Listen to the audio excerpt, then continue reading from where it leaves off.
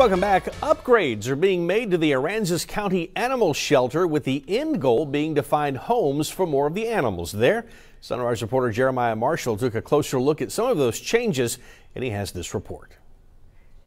So uh, we've really been working hard during this pandemic to get continue to move dogs.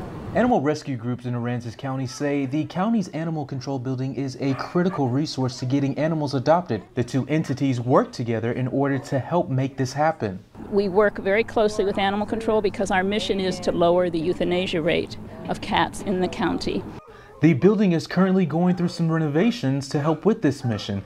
This includes installing brand new kennels. The ability to hold more animals is crucial as animals can often spend some time waiting before being sent to other counties or even across the state to other non-kill shelters to get adopted. Well, if they don't go, they die. So that's pretty much the bottom line. So that's also with the cats. So we want to get them out. We want to get them networked. We want to get them homes um, and save their lives. Some other changes include newly painted walls to help brighten the mood and help make visitors feel comfortable while searching for their new pet. Uh, just the uh, physical environment um, as well as the mental environment, which is the staff, affects anybody who comes here.